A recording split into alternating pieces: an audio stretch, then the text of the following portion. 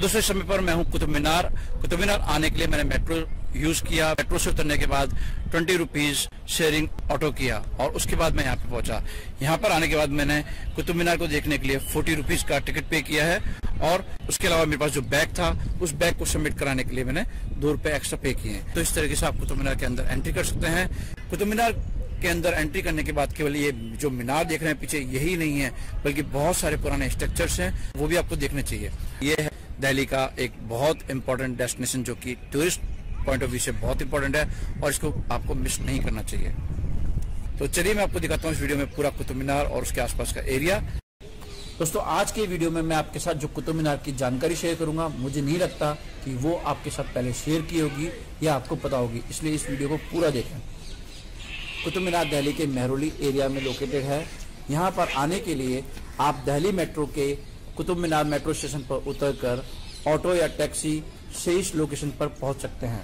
जब आप टिकट लेकर अंदर प्रवेश करते हैं तो आप देखेंगे कि यहाँ पर कुतुब मीनार के अलावा बहुत बड़ा एरिया है जहाँ पर गार्डन डेवलप किया गया है। वहाँ पर कुतुब मीनार के अलावा बहुत सारे अलग अलग स्ट्रक्चर्स बने हुए हैं। कुतुब मीनार एक यूनेस्को वर्ल्ड हेरिटेज साइट है और दिल्ली का एक बहुत इंपॉर्टेंट लैंडमार्क है। ये इंडिया का सबसे ऊँचा सेकंड नंबर का टावर है, जो कि पत्थरों से बना हुआ है। पहले नंबर पे आता है पंजाब का फतेह बुर्ज। कुतुब मीनार के अंदर जब आप घूमने आते हैं तो यहाँ पर कुतुब मीनार के अलावा और भी बहुत सारे मेजर और माइनर मॉन्यूमेंट्स हैं, जैसे कि बैत उल इस्लाम mosque, iron pillar, Alai Darwaza, Alai Minar tomb of Iltutmish, Alauddin Khilji मदरसा और टॉम इमाम ज़मीन का टॉम, आदि।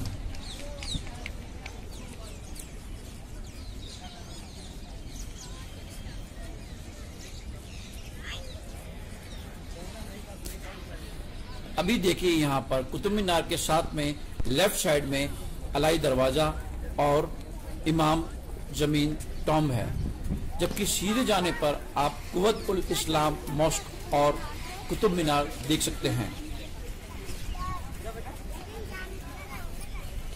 कुतुब मीनार 72.2 मीटर ऊँचा है, जो कि लगभग 240 फीट होता है। कुतुब मीनार पाँच मंजिला है और उसकी जो नीचे का जो सरफेस है बेस का डायमीटर है, वो है 14.3 मीटर, जिसको कि हम 47 फीट भी बोल सकते हैं। यह ऊपर जाते जाते कम हो जाता है और ऊपर का जो पीक पॉइंट है, वो केवल 9 फीट का है मतलब 2.7 मीटर डायमीटर का है। कुतुब मीनार के अंदर ऊपर जाने के लिए स्पायरल शेप में 379 के अप्रोक्सीमेट स्टेयर्स है सीढ़ियाँ हैं, जिससे आप ऊपर जा सकते हैं। लेकिन अभी इसको बंद किया गया है। इसको बंद करने के पीछे एक बहुत बड़ी ट्रेजिडी है, जो कि 1981 में हुई थी। उसके बारे में मैं भी आपको बताऊँगा। लेकिन उससे पहले मैं आपको कुतुब मीनार के बारे में कुछ और ज़रूरी बातें बता देता हूँ। कुतुब मीनार को बनाने के लिए तीन अलग अलग तरीके के स्टोन यूज़ किए गए। जब सबसे पहले की तीन स्टोरेज बनाई गई तीन मंजिलें बनाई गई तो उसके लिए रेड कलर का सैंडस्टोन यूज़ किया गया। जिनके की कलर सिमिलर नहीं थे या फिर यूनिफॉर्म नहीं थे उनमें भी कुछ ना कुछ वेरिएशन था पूरे कलर सेम नहीं थे। फ़र्स्ट और सेकंड स्टोरी में जो स्टोन की यूनिट थी वो पिंक शेड में थी यानी कि पिंक कलर उसमें आता था और, और जो तीसरी मंजिल बनाई गई उसमें उसमें डार्क रेड शेड का पत्थर यूज़ किया गया।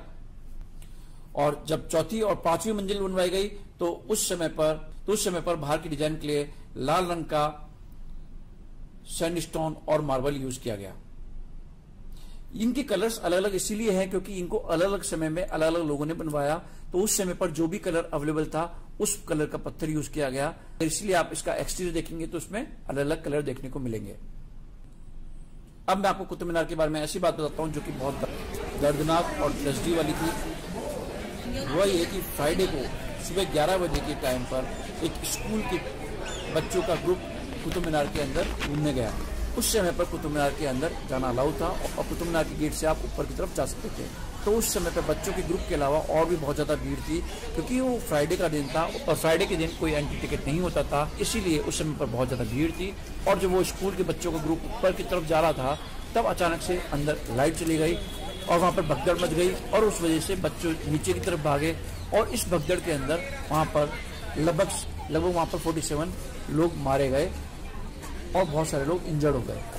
कुछ दिन के बाद से गवर्नमेंट ने ऑर्डर किया कि कुतुब मीनार को बंद कर दिया जाए और नेक्स्ट फर्दर नोटिस तक इसको ओपन नहीं किया जाए। तब से लेकर आज तक कुतुब मीनार पब्लिक के लिए बंद है और यह केवल स्पेशल रिक्वेस्ट पर खुलता है और वो भी केवल कुछ लोगों के लिए जो कि रिसर्च कर रहे हैं या फिर मेंटेनेंस का अगर कोई काम करवाना है तो ही अदरवाइज़ इसका गेट पब्लिक के लिए नहीं खुलता।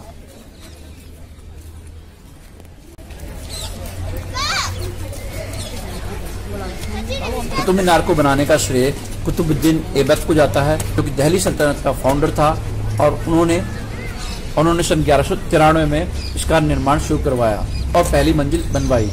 लेकिन उसके बाद में कुतुबुद्दीन ऐबक का जो सक्सेसर था और सनी लो था शमसुद्दीन इल्तुतमिश उसने तीन मंजिल कंप्लीट करवाई। उसके बाद तेरह सौ उनहत्तर में टॉप स्टोरी डिस्ट्रॉय हो गई जिसको कि बाद में फिरोज शाह तुगलक ने रिपेयर करवाया और और कुतुब मीनार में एक मंजिल और ऐड की।